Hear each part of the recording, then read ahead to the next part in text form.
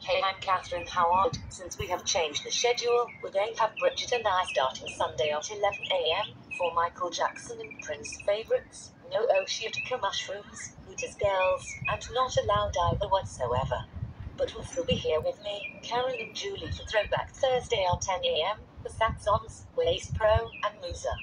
Join with me for KTV Sunday Edition News. Right here on WKTV 107.9, The Magic of Louisiana.